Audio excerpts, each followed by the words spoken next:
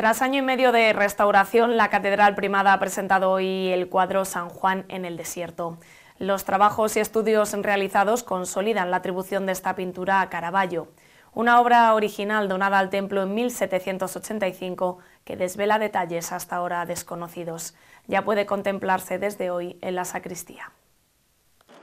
Es una de las grandes obras de la pinacoteca de la Catedral Primada. Llegó al templo en junio de 1785, fruto de una donación por parte del canónigo don José Antonio Zoilo Saez de Santa María.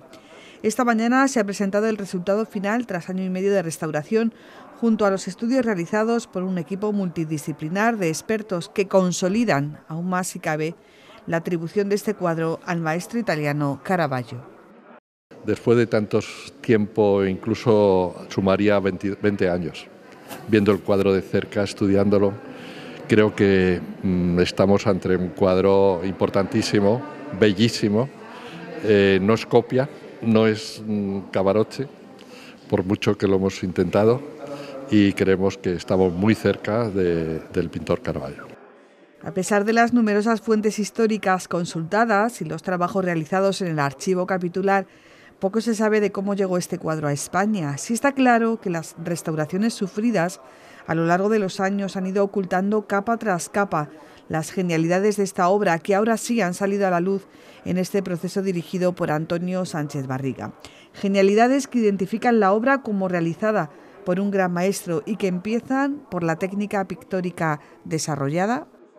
Está realizado a la prima con e incisiones, varias incisiones para marcar la, figura. Los fondos los utiliza como fondo, le da una veladura por encima y luego con cuatro colores, quitando el blanco y negro, y luego sin mezclarlos casi. O sea, un vermellón, una laca roja. Así hace la túnica. O sea, es de una tirada. Prosiguen con la iconografía. Unos cambios iconográficos que era muy normal en él sobre todo el cambio iconográfico del dedo señalando, no tenía la vara, no tenía el cordero, tenía el manto y luego la iconografía que ya parte se conocía, pero las plantas de vid no se parecen mucho a las plantas de vid que hacía Cavarotti. Y que han permitido además sacar a la luz detalles hasta ahora ocultos. Ha aparecido el carrillo rojo, que es muy típico de él, la sonrisa benevolente de, los labios, ha aparecido el pelo, ha aparecido una flor que él, normalmente ponía, puso en, en alguno de sus cuadros, como el muchacho que muerde el lagarto. O sea que tenemos muchos elementos que sí estamos cercanos a él.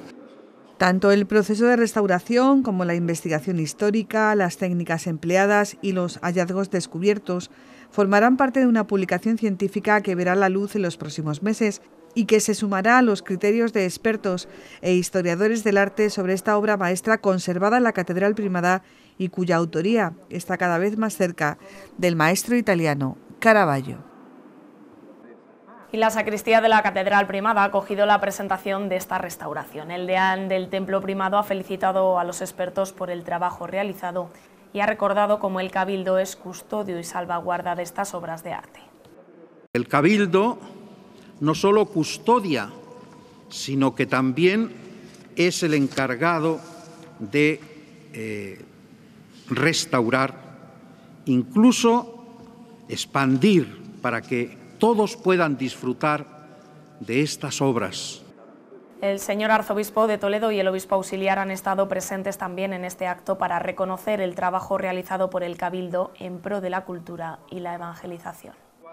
Mi felicitación a la Catedral Primada, porque una vez más con todo esto lo que hace es eh, poner en valor aquello que me parece que es importantísimo para la cultura, eh, para la ciudad de Toledo y para toda la Iglesia y que en el fondo es el objetivo principal en esa famosa frase de Dostoyevsky, Jesucristo es la belleza que salva, todo esto aporta a Jesucristo y aporta a que se haga presente esa belleza que salva.